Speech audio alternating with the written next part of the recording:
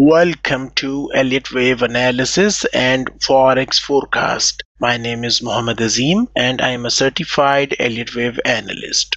This video is brought to you by ReadyForex.com. Risk disclaimer Today is Tuesday, October 4th, 2022. I am going to analyze USD CHF currency pair. Let us start the top to bottom Elliott wave analysis. Inside daily time frame, the trend is down in USD CHF currency pair. You can see a nice bearish trend channel. Daily time frame resistance is present at 1.0063 price level. Price action is probably going to drop to complete bearish wave Y which is also going to complete double zigzag Elliott wave pattern. A decisive bullish breakout above 1.0063 resistance area is going to end a downtrend in daily chart of USD currency pair. Next, let us take a look at 4 hour chart. Price action manages to breaks below the most recent swing low. To me, USD CHF pair looks sideways in 4 hour time frame. Next, let us take a look at 1 hour chart. The trend is down in 1 hour chart. Intraday resistance is present at 0.9964 price level. I expect bearish wave C to move down, which offers a chance to join the downtrend in USD CHF currency pair. A decisive bullish breakout above 0.9964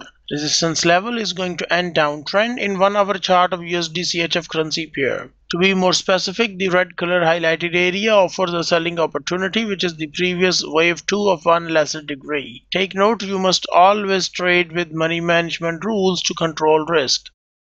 For more forex trading information, visit readyforex.com. Press the subscribe button and hit the bell icon to never miss upcoming videos.